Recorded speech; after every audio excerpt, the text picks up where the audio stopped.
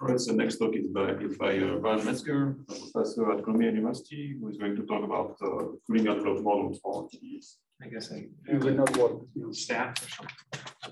Uh, I'll, I'll, I'll be strong. I just want to point out one thing. I, I don't, I don't think that the, the, that this physical expansion, I mean, I think, so the thing of a simple way, just with regards to the previous talk, I mean, so, so if you have, well, I mean, if you, if, if, if you were just expanding by a few solar radii, for those who can't, can't see it, but, you know, in the duration of the, of the QPE of an hour, the, the, the, the velocity of that is calculated like ten to the minus uh, uh, c or less. So, so I think that I think this is substantially uh, smaller than the orbital speed. So, so it'd be implying that the star punches through the disk and it's creating a cloud that's expanding much slower than the star. So I think the physical surface is actually has to be substantially larger than that. And I, and I think the black body assumption is questionable. But anyway, this is just a comment.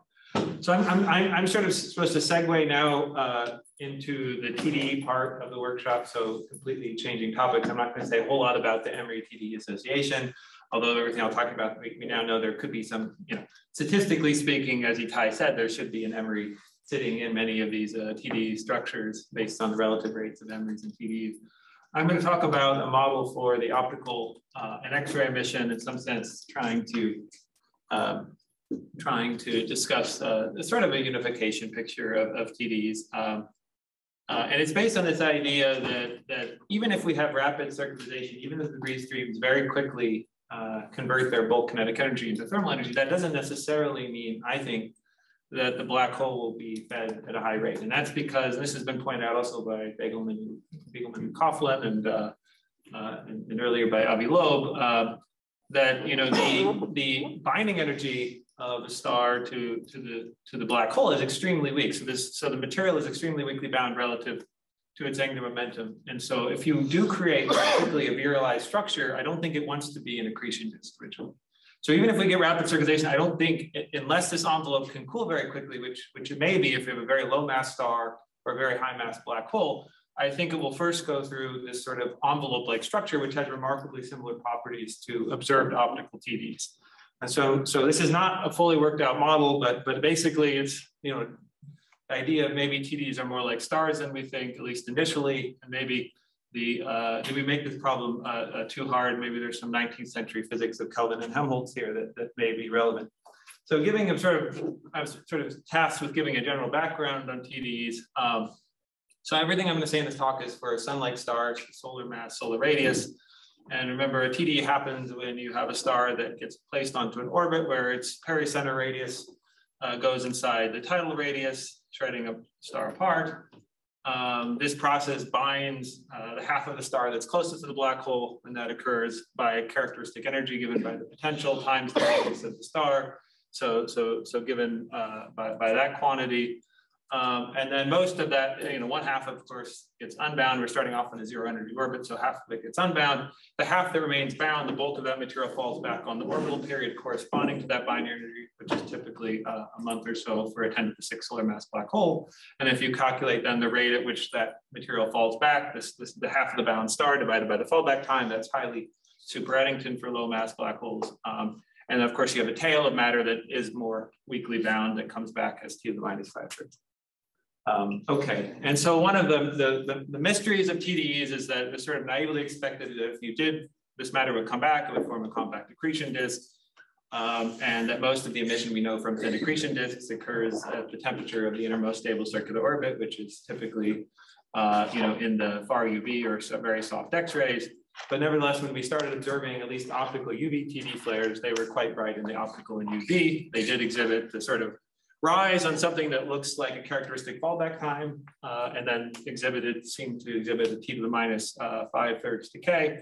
What was unexpected is the effective temperatures were substantially less than what you naively guessed for a thin disk. Uh, stated another way, the uh, photosphere radii were um, substantially larger than uh, either the tidal radius uh, or the ISCO of the black hole. Um, so this is from uh, Suvi's review article showing the photosphere radii is a function of the black hole mass.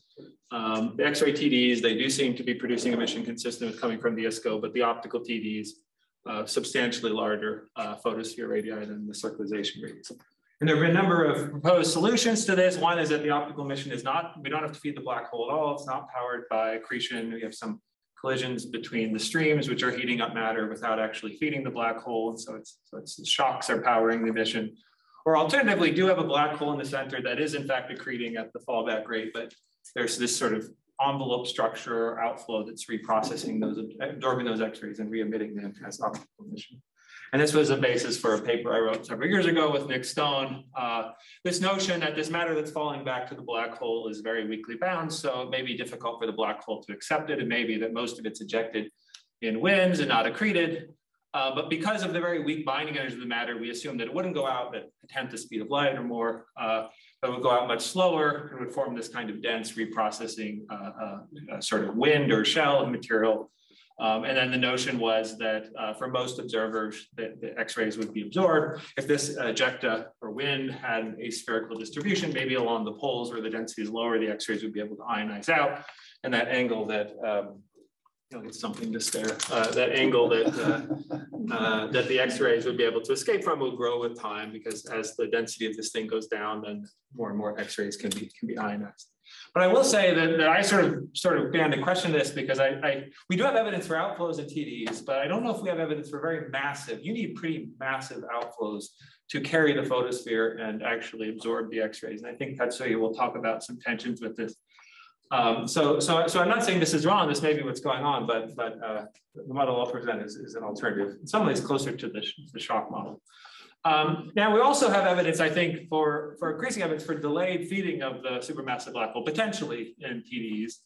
Uh, Kate will talk about this, I think, maybe tomorrow or on Thursday um, that we also we have a few cases now where um, sometimes we do see synchrotron radio emission coming from the beginning of the event. There was something launched during the circularization process, but other times we see very late onset of, of radio jets. Um, so maybe you know hundreds or thousands of days we don't see anything, and then it looks like the central black hole is activated or, or something created a relativistic, mildly relativistic outflow from the inner black hole. Um, uh, this is from Suvi's paper showing, as you discussed earlier, that when, when we do see X-rays from optical TDs, they're, they're often delayed. So the, the optical is peaking, but the X-ray is uh, substantially uh, delayed by maybe hundreds of days. Eventually it does start to decline. And then now this is more tentative, but there's a number of claimed uh, high energy neutrinos from TDs. And they, you know, there's three or four of these, it's quite controversial, but they don't happen when the TD is peaking, they happen later they almost certainly must be coming, if they're real, coming from the inner accretion disk turbulence in the corona or or uh, reconnection in the corona or a jet or something. So, so there's, I think there's, there's, there's very tentative hints that in some cases, the, the, black hole is being activated later than we might have guessed. This is another example from Yuhan Yao showing this uh, two, uh, 2021 EHB where the optical peaks uh, and then starts to decay, actually flat lines. Uh, the X-rays are rising and then they don't reach their peak for 300 days after the optical and there's some peculiar X-ray properties of these. So it's quite controversial, I think, uh, this issue of exactly what is required for the debris to circularize. Some people think you need strong relativistic precession to get the strong uh, collisions. There was a recent claim, I'm not gonna uh, uh, uh, uh harken too much on it, by Steinberg and Stone claiming that even for beta equals one, 10 to the sixth solar mass black hole, they found you could get rapid circularization within a matter of a few months um, uh, due to particularly strong dissipation of the nozzle shock, but there's been other work by uh, Clement and others showing this, this, this may not be the case. So this is still controversial, but I would say we, I don't think we you know, should necessarily assume that we that we wouldn't we, that we will or won't get rapid circulation. But um, what I'm going to say for this talk is that I'm just going to assume that nature finds a way. Maybe some TDs don't, and we don't see them initially for a while. But, but I'm just going to assume that circulation is rapid. Um, and I'm going to argue to you that, that this, this should create potentially this, this weakly bound envelope, not initially an accretion disk. So as I mentioned earlier, the disruption binds the star to the supermassive black hole by roughly this amount. But the notion is that if we circularize fast enough, matter that's, that's, that's, that's undergoing the circulation process doesn't have time to cool radiatively. So, so it will try to create some kind of structure around the black hole. Um, and if you wanted to estimate the radius of the structure, you would say, okay, let's take that, that energy using the virial theorem. We can figure out what is the gravitational binding energy of the envelope, and that gives us the radius of this characteristic envelope. And when you work that out, just equating these two, you end up with a characteristic radius, which is the star's radius times the ratio of the black hole to the stellar mass to the two-thirds power. It's actually quite a large number, which is substantially larger than the tidal or circularization radius by a factor that's of order the, uh, the third third power of, of the black hole to star's mass. So typically you know, 10 or 100 or something like that. And so this, this structure that wants to create is rotating substantially. It has the angular momentum of being on a small scale, but it has the radius of being on a large scale. And so it's rotating substantially below the, uh, the Keplerian rate, which means it's not rotationally supported. Um, this, this omega over omega cap should be like 10 to the minus three for characteristic parameters. So, it suggests that this, this, this, this structure should try to create large pressure supported envelope, not a rotationally supported disk. Not to say there isn't some matter down by the black hole in the disk, of course there, there has to be, but most of the mass wants to be on a larger scale.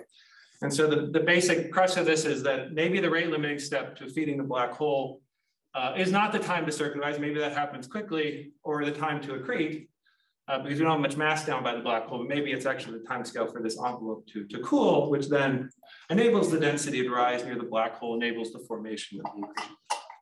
And so if I just take, I'm not going to put too much stress on this, but if I just take, uh, oops, if I just take this uh, zero radius and, and I you know, overplotted on, on Suvi's plot of the photosphere radius with black hole mass, it's not great. Hold on Yuhan's plot, um, it, it goes something like this. So, so it's, a, it's a, the right radial scale for the photosphere radii we see. That's my point. So that motivated this idea of this cooling envelope model where I, I just postulate that this envelope is formed and I simultaneously solve a few equations for the mass of the envelope, which grows due to fallback accretion and accretion onto the central supermassive black hole.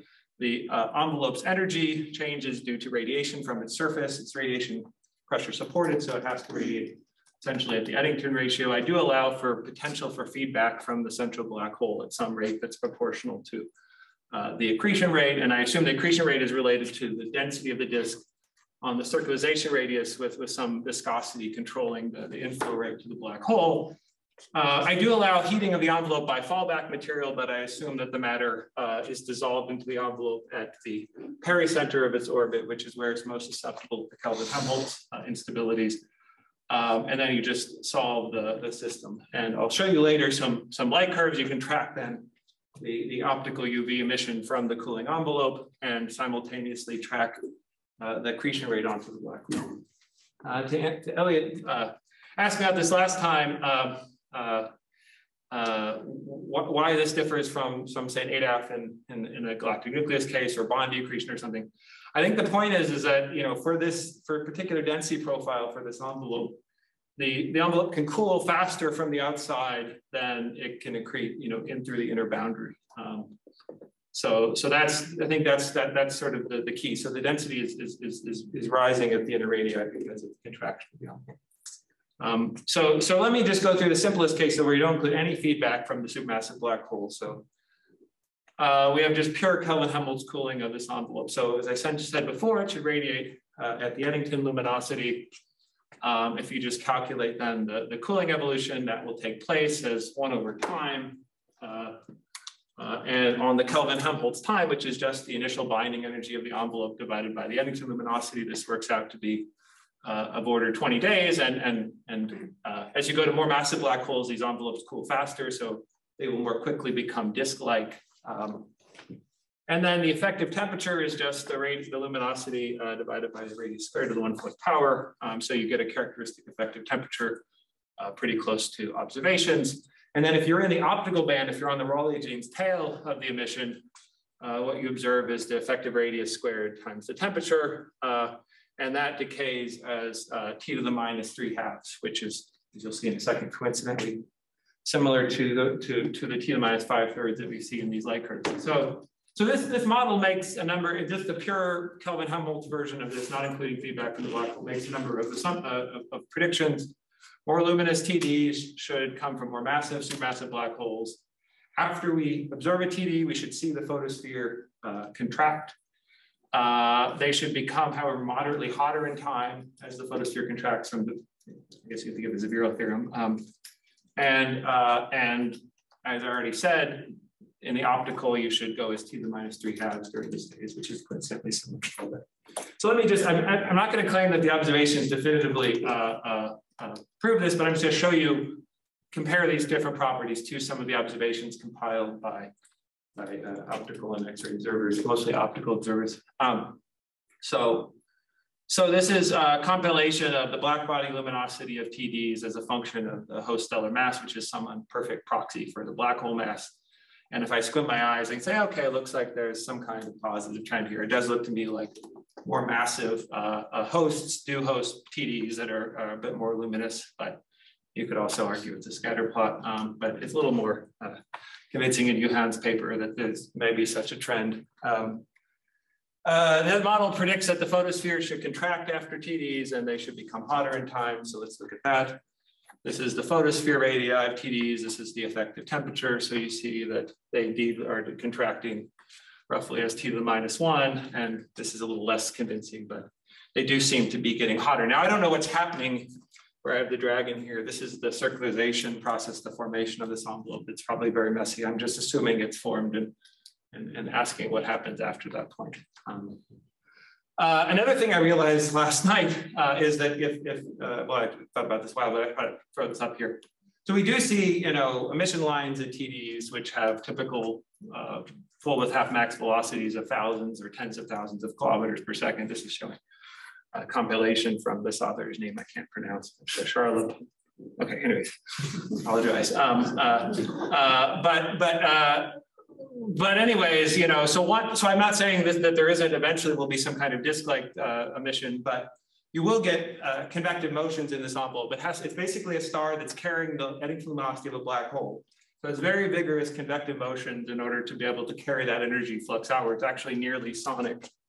Um, and so if you just do the typical estimate, I take the mean density of the envelope when it forms based on its binding energy and calculate what are the convective velocities, you get of order thousands of kilometers per second. And this might, uh, you follow these scalings, might expect it to contract slightly with time. I, I don't know, the observations are kind of all over the place, but the order of magnitude of the number you get, thousands of kilometers per second is the correct one. Um, but this is highly, nearly sonic uh, turbulence. So uh, you can ask me later if this can make a dynamo, which might give us magnetic fields we need.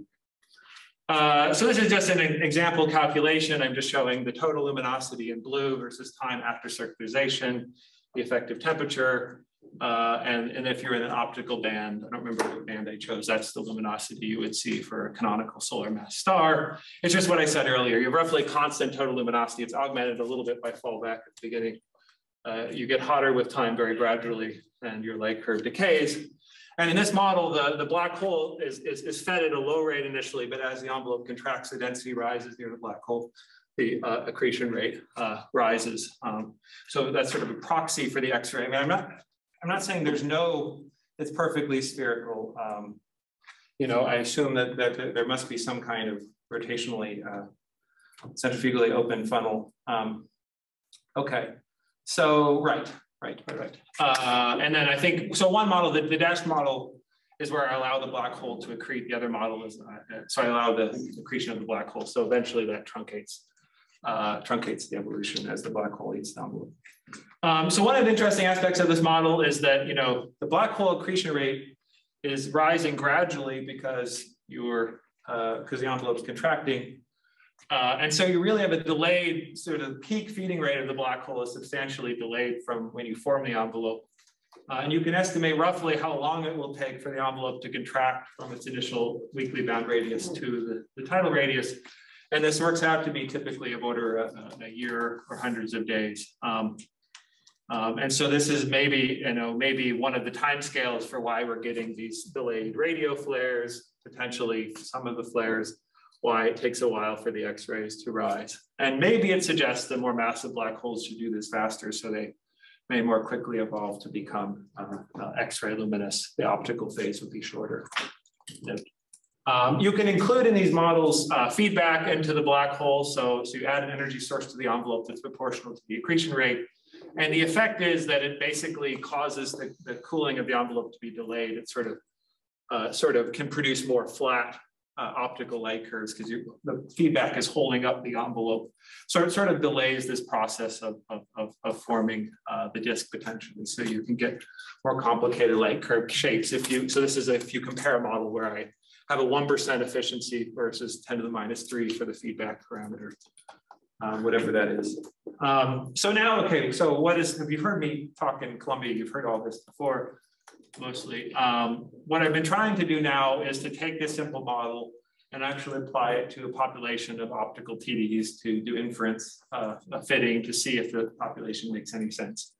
Um, and so this is just a, a, spattering of models where we vary viscosities and black hole masses and stellar masses um, uh, and, and make predictions for these different properties. So what we've been doing with Nikhil Sarin is to take a sample of 13 ZTF TDEs, uh, attach a phenomenological rise uh, on the fallback time essentially for the formation of the envelope and then attach it onto the cooling envelope model. And so the model has currently uh, five free parameters, the black hole mass, the star's mass, the penetration factor, which mostly controls how far the star has to contract to the tidal radius, this feedback efficiency on the black hole and the viscosity of the, of the inner disk. Um, uh, and then we just do the parameter fitting and see uh, what it gives us. Um, this is the result for these uh, TDEs. Um, this is the black hole mass, the star's mass, uh, beta. And then this is the time scale in the model where the model terminates, which is when the envelope has essentially collapsed down to become a disk no longer it's valid to consider it as a rotationally supported envelope.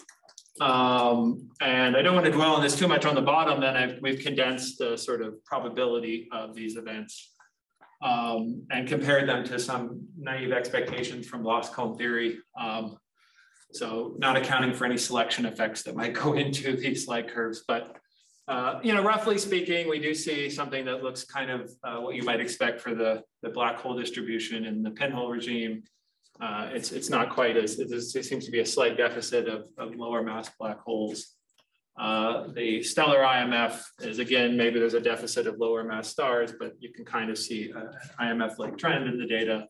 And then we find actually a, a sort of unexpectedly uh, high number of high beta TDEs, which we heard earlier from Mike, maybe this is because we have, uh, have a more loss cone than we than we think. Um, and then you sort of characteristically get timescales of hundreds to thousands of days for when the envelope terminates. So I'm not gonna not gonna read into these too much. I mean, we, we have ideas about why we might under under there's selection effects if the flares are are dimmer uh, or if there aren't any black holes at sufficiently low mass black hole uh, regimes, maybe there's an underrepresentation there. Um, also, we don't see a whole lot of evidence in our model fitting for higher mass black holes, but that's not surprising. As I, as I said earlier, for, for higher mass black holes, the cooling time envelope is very short, so I don't expect it would stay as an envelope very long. So they may not be as optically bright as, as the X-ray ones. So um, that's essentially everything. Uh, I'll just kind of recount what I've said. Um, I think the main point is, is I'm not convinced that rapid circularization leads, leads to rapid feeding of the black hole. These, these envelopes are bound by 1% of the Keplerian orbital energy at the tidal radius. I, I, really do think in some sense it wants to form something that on the outer scale is more pressure supported. Whether this model captures that or whether it's more disk-like, I guess that's an open question. Um, uh, but I do think it's intriguing that if you just calculate the properties of that envelope, its size, uh, its luminosity, uh, you kind of naturally get the properties of optical TDs. Um, and you actually get this fact that the envelope will contract, the photosphere will contract with time. And, uh, and you could get this decay that's remarkably similar to T to the minus five thirds. Um, and then this may be an alternative to a pure reprocessing scenario where there really is an X-ray source in the center that's doing T to the minus five thirds. We're just only seeing a portion of it. It may be that the black hole feeding is actually delayed, and this is why we don't see the radio flares or X-rays peaking until somewhat later times. Um, and then what needs more work is, is, is, this issue of whether we can explain uh, velocity features in TDs, which are, I understand, just erratic all over the place in terms of the shapes. Could those be convective motions in this kind of kind of envelope? Um, I will say some efforts in spectral polarimetry do suggest that the photospheres in TDs are fairly spherical, but they're contra contradicting claims, I understand it as well. So, so these are kind of, to me, the open questions is, is if we do get rapid circulation in the simulations, or we do get circulation at all, can we see this envelope form in the models? We just need to run, instead of just, you know, we do see the extreme collisions, if we run it long enough, do we eventually see these envelope forming? Um, you know, uh, where does the debris stream that's coming back deposit its energy in this envelope? Because that controls whether it's an important or non-important source of heating of the envelope. Uh, are there outflows? I suspect there, we, we, do see outflows. I'm just saying they don't carry away most of the envelope in this scenario. Um, particularly during maybe the circularization phase when the fallback is highly super Eddington. It's a super Eddington heating source for the envelope. Maybe there are outflows during that phase. Uh, and then there's also the question, if we do have this convective envelope, uh, it turns out that the Rossby number of it initially is large, so it shouldn't be producing an order magnetic field, but as it contracts, uh, the Rossby number drops. Maybe at some point you can get a dynamo and creation of magnetic flux, which is what you need to power the black hole jet. So um, with that.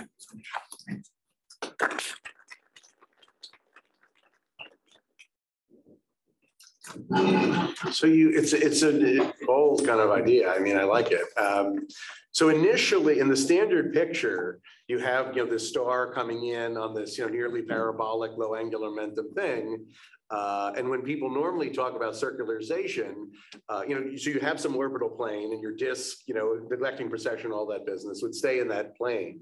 And so when people mean circularization, you're kind of dissipating the eccentricity from some, you know, nearly parabolic thing to some circular thing.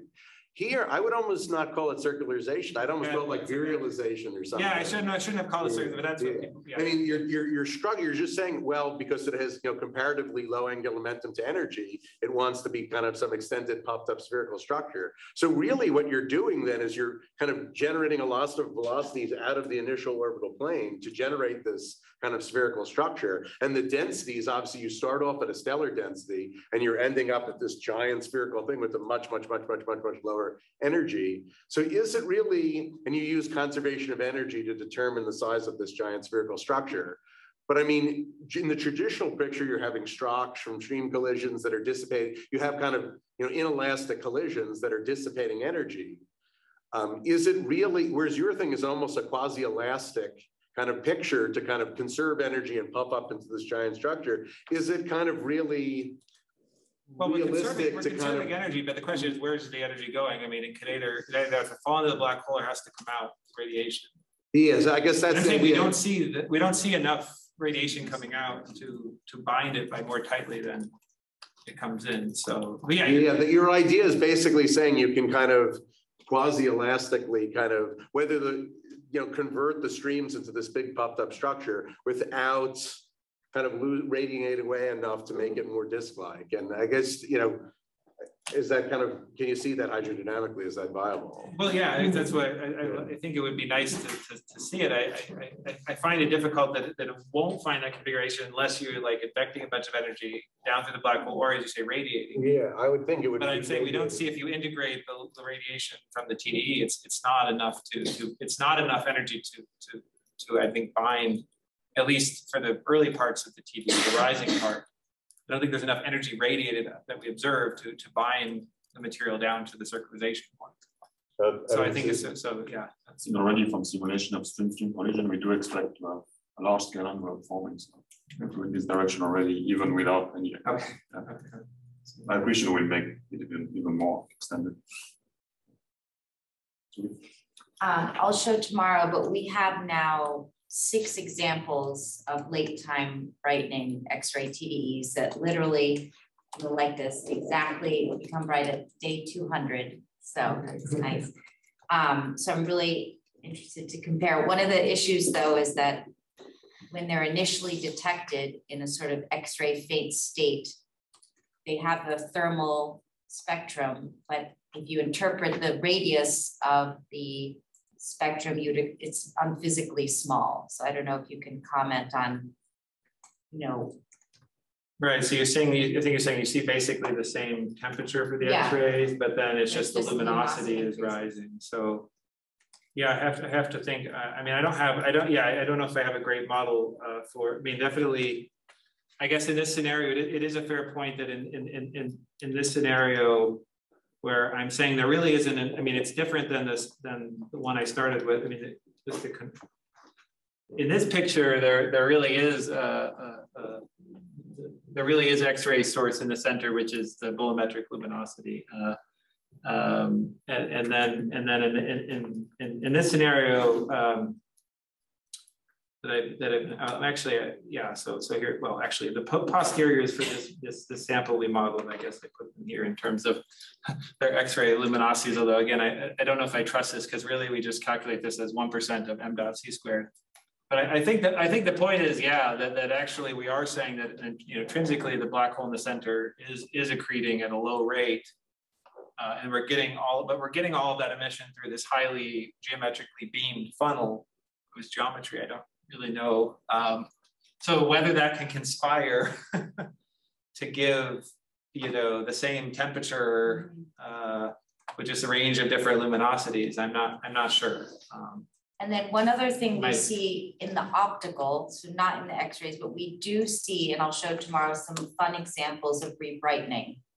So I'm wondering, does your model allow for the optical emission to have any kind of interesting structure to it?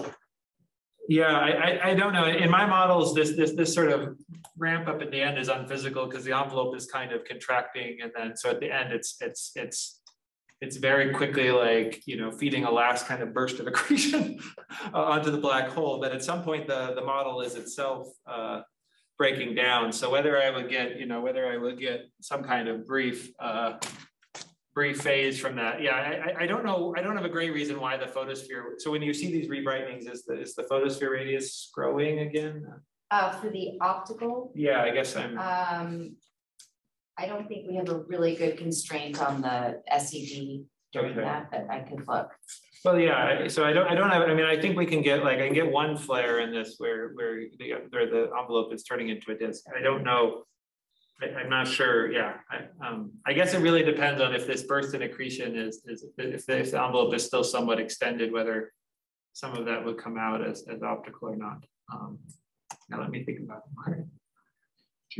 So Brian, interesting idea, but if I understand correctly, are you suggesting in your model that there are no stream-stream collisions? No, there, there, there are stream collision, well, okay.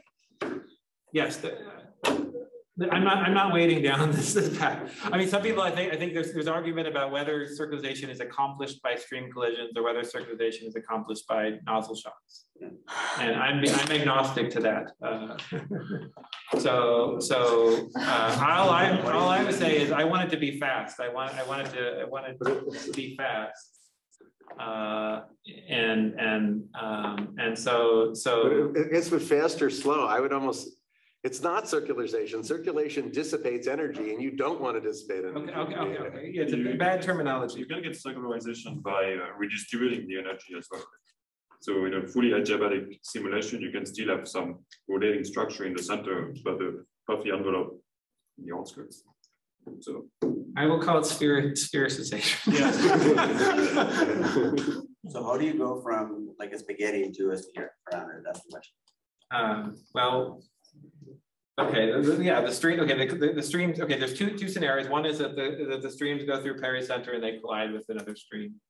And then that, that creates this hot volume filling debris, which over time dissolves the, the remainder of the stream.